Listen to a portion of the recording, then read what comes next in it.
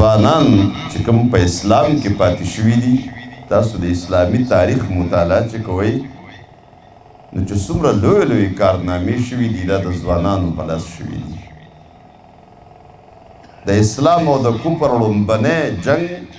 ړومبنی غزا غزوه بدر و د دې بدر غزا دا ټوله ځوانانو په خپل نوم کړې وه دا وړو هلکانو په خپل نوم کړې وه تاسو واقع به لوستي کړئ د بدر د جنگ آغاز څنګه شوو حضرت عبد الله ابن مسعود رضی الله تعالی عنہ فرمایي چې د بدر غزا ته موږ صفونه جوړول نو زما سره پرې سب کې یو طرف ته بل طرف ته واړه لکان ولاړ دي دوا یو طرف ته یو الک ولاړ دی بل طرف ته یو الک ولاړ دی دی وایي زما په زړه کې یو ارمان پیدا شو چې کاش زما په خوا کې داسې تکړه خلک ولاړ وي مضبوط ځوانان ولاړ وي نو زما مټې به مضبوطې وي وی ما دا سوچونه کول دا ارمانونه مې کول په دې کې په دې الکانو کې یو الک زمانه تپوس کو کاکا هغه ابو جهل پیژنې دا ابو جهل پیژنې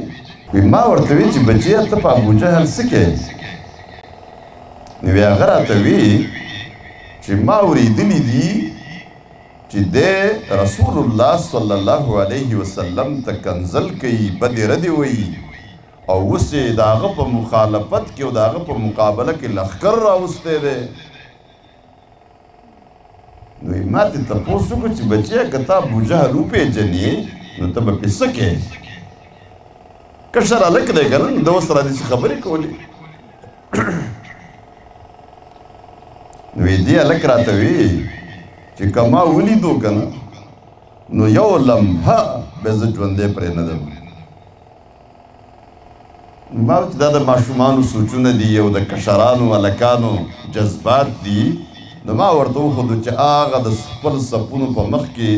چې کوم سپونه سیده کوي دغه ابو جهل دی وی چې څنګه معلوم کو چې دغه ده هغه فرمایي چې دا دواړه لکان زما د مخینه داسې په تیزۍ منډه کړه لکه باز چې خپل ښکار ویني او ورغوټه کېږي پرې او زما لا په دې حیران ما دا لکان چرته لاړل څنګه منډه کړه وی لک سات پس مې کتل ابو جهل پس مکه پروت نو دی پسې ورغی تپوس یې ترې وکړو پرې سر یې وله خپه کېښوده دی خو پروت دی پاڅېدی نه شي مړه کېدو والا و نو ده ورته وې عبارت ته یخ شوې هر څه دې لاړه ختم شو که نه هغه به جواب کې وي تاسو څه توره وکړه خو یو قریشي مړ کو د دې ابو جهل د قتل نه فورا پس د دې سره د مشرکانو حوصله وغورځېدې او دا غزا دې دوه هلکانو په خپل نوم کړې وه او هسې د بدر د غزا ټول نمونه موجود دي په کتابونو کې تاسو یې څوک چې په کتابونو کې نشي معلومولی په انټرنیټ باندې سرچ کوئ نو وګورئ که نه بدر کې مجاهدین بدر کې شهدا دا ټول موجود دي تاسو دا غي عمرونه وګورئ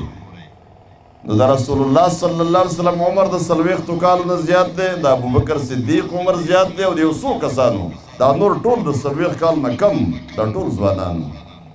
دا د ځوانانو غزا وه